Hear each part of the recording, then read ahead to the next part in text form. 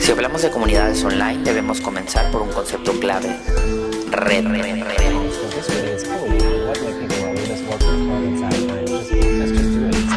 red, es un término confuso pero repetido con insistencia en el presente, una palabra en boga, de moda. A pesar de su uso común, es un término contaminado se ha añadido a nuestro mainstream gracias al uso de las redes sociales como Facebook, LinkedIn, Orkut. Un concepto ambiguo, red eléctrica, red de pesca, red de comunicaciones, red informática, red ciudadana. ¿De qué tipo de redes estamos hablando? ¿Centralizadas? ¿Descentralizadas? ¿Distribuidas?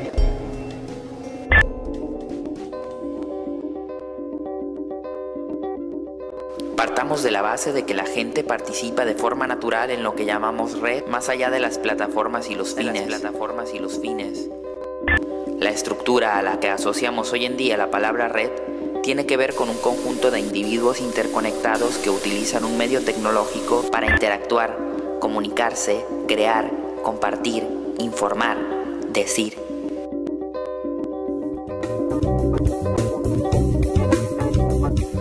Hablamos de una red como una comunidad.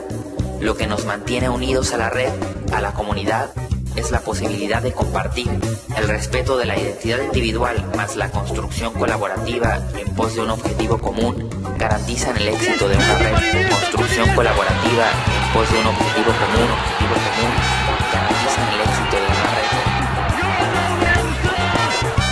movimientos que surgen de ellas no están estructurados ni jerarquizados, son iniciativas anónimas en las que la participación es desigual y variable porque depende de cada individuo. La posibilidad de compartir. En realidad, los movimientos políticos en la red triunfan por su simplicidad y porque aparecen desde la ciudadanía y no desde las organizaciones políticas.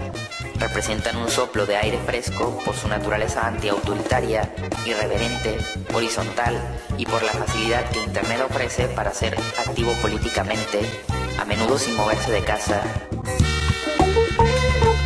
La red ha favorecido el auge de las comunidades online cross borders, comunidades con objetivos globales para causas locales.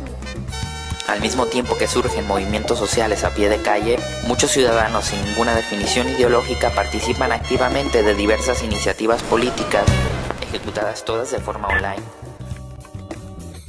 ¿Cómo evoluciona el activismo online? Hay muchos y muy variados ejemplos acciones de monitorización y seguimiento, OpenParlamento.it es una comunidad de voluntarios que monitoriza las acciones de todos los parlamentos italianos.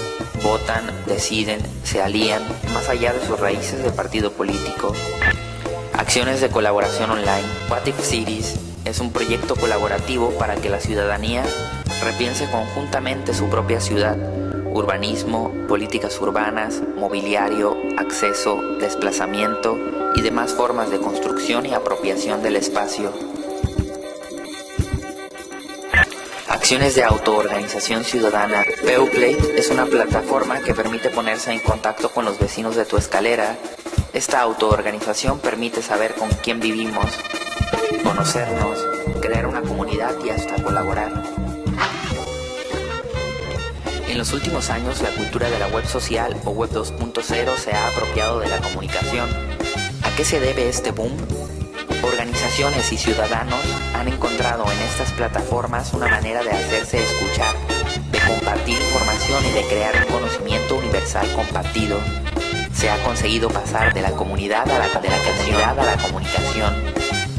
Es en esta actitud que el ciberactivismo encuentra un lugar, una opción para pasar a la acción a la movilización. Las redes aunan, conjugan, suman. Cada persona es un nodo, cada ciudadano es un punto de vista, cada miembro es una realidad, similar o dispar. Conocimiento compartido, creación de contenidos, rechazo a la demagogia política, estructuras horizontales, inteligencia colectiva, visión global de la realidad local, dominio de herramientas tecnológicas, creatividad, apertura, irreverencia. Las nuevas redes ciudadanas no aspiran a sustituir a las plataformas políticas convencionales, son un nuevo actor político, una plataforma más para opinar, señalar, votar, legitimar, modificar, participar, actuar